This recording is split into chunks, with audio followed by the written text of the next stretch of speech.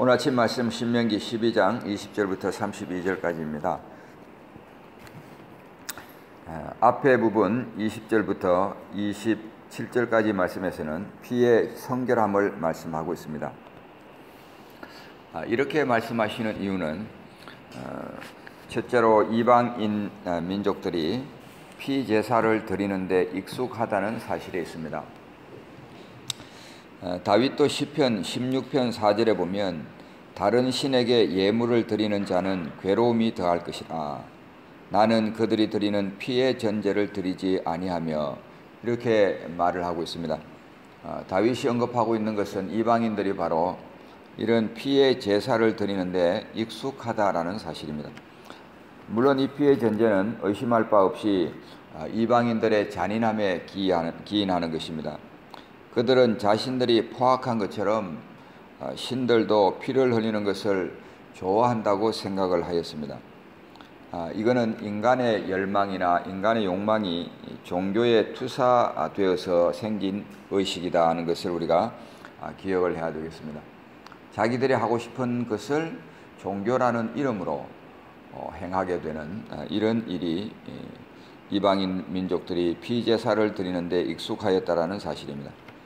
그런데 두 번째로 우리가 이 피와 연관해서 하나님이 말씀하시는 것을 보면 이 피는 버려야 된다라고 명령을 하셨습니다. 23절, 아, 24절 말씀이 그런 말씀들입니다. 아, 하나님께서 분명하게 말씀하시는 것은 피는 다른 용도로 사용하지 못하고 가장 신성한 용도로만 사용되어져야 된다. 그래서 두 가지 명령을 하였습니다. 하나는 재단에 가지고 가서 어, 제사장이 그 재단에 붙도록 해야 된다. 아, 그것이 27절 말씀에 나오는 것입니다. 아, 내 번제를 드릴 때는 그 고기와 피를 내 하나님 여호와의 재단에 드릴 것이요 피는 하나님께 드려져야 된다라고 말씀을 하고 있습니다. 두 번째로는 24절 어, 말씀입니다. 아, 너는 그것을 먹지 말고 물같이 땅에 쏟으라. 아, 피는 사람이 먹어서는 안 되고 그것을 땅에 쏟아야 된다라고 말씀을 하고 있습니다. 세 번째로 그 이유를 보면 아, 생명이 피에 있기 때문이다라고 주님은 말씀하십니다.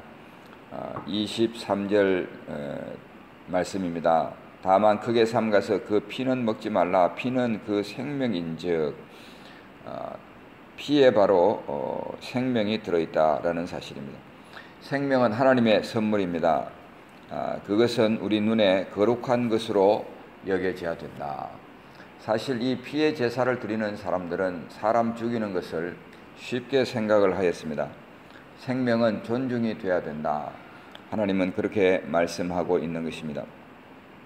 아, 이것이 바로 어, 피에 대해서 우리가 해야 될 최선의 일이다라고 말씀합니다. 어, 네 번째로는 우리가 이 피라, 피가 신성하다고 말씀하고 있는 이유는 그 대속성으로 인해서 피가 거룩하게 여겨진다라는 사실입니다. 흘려진 피는 어, 다른 생명을 유지하도록 희생된 것을 의미합니다. 어, 사실 우리가 돌아보면 어제도 그런 말씀을 드렸습니다마는 희생은 세상의 구성을 뒷받침해주는 요소입니다. 아, 예를 들면 어, 씨가 죽어서 채소와 식물이 나게 되어 있습니다.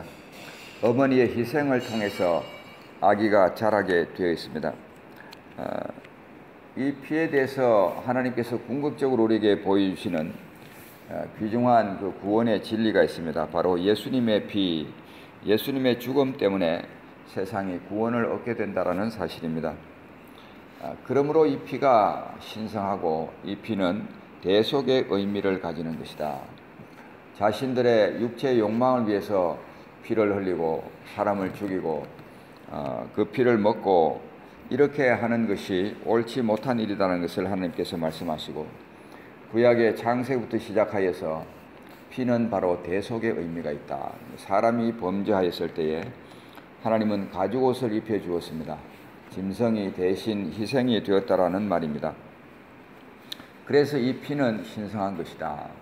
아, 하나님께서 우리들에게 말씀을 하고 있습니다. 우리가 피를 생각할 때마다 어, 예수님의 대속의 죽음을 기억하고 어, 감사하는 그런 삶을 살아야 되겠습니다. 아, 두 번째 부분 28절부터 32절까지 마지막 부분에서는 악을 탐구하지 말라라고 주님은 말씀하십니다. 아, 이방인들의 행위 지금 신명기에서 계속 반복적으로 이스라엘 백성들에게 경계를 하고 있는 것은 가나안 땅에 들어가서 그들의 풍속대로 따라하지 말라. 아, 이것을 하나님은 많이 경계하고 있습니다. 특별히 오늘 말씀의 30절에 보면 너는 스스로 삼가 내 앞에서 멸망한 그들의 자취를 밟아 올무에 걸리지 말라. 또 그들의 신을 탐구하여 이르기를 이 민족들은 그 신들을 어떻게 섬겼는고 나도 그와 같이 하겠다 하지 말라. 아, 그 이방 신들을 탐구하지 말라라고 말씀을 하고 있습니다. 아, 우리가 죄의 근원을 보면 창세기 3장에 기록이 되어 있습니다. 아, 사탄이 인간에게 나타나서 어, 유혹을 할 때에 사용하였던 방법이 뭐냐면 호기심을 자극하는 것입니다. 정말 하나님이 저 선악과를 먹지 말라고 하였더냐? 아, 그렇게 호기심을 자극하였습니다. 선과 악을 아는 그 나무의 열매를 먹지 말라. 어, 그런데 사람들이 선택한 것은 선과 악을 알아야 되겠다. 아, 그렇게 선택을 하였습니다. 아, 하나님께서 그것을 먹지 말라고 한 이유는 악을 모르는 게 지혜다라고 말씀을 하고 계시는 것입니다. 아, 그런데 사람들은 악을 알아봐야 되겠다. 네. 그리고 선과 악을 알고서 선을 행하면 되지 않겠느냐. 아, 그런 호기심이 우리들의 마음에 있다라는 사실입니다. 문제는 음, 선과 악 중에 악을 알게 되었을 때에 사람들이 달려갔던 길은 악을 버리고 선을 행하는 길이 아니라 아, 선을 버리고 악으로 치우쳤다라는 사실입니다. 그래서 하나님께서 창세기 6장에 보면 사람들의 행하는 것이 마음속에 생각하는 것이 항상 악할 뿐임을 보시고 아, 선과 악을 알게 되었을 때에 결국은 악으로 치우쳐 달려가게 되는 우리들의 모습을 지적을 하고 있습니다. 고린도전서 14장 20절 말씀에 보면 형제들아 지혜에는 아이가 되지 말고 악에는 어린 아이가 되라. 그렇게 말씀을 하고 있습니다. 악에는 어린 아이가 되라.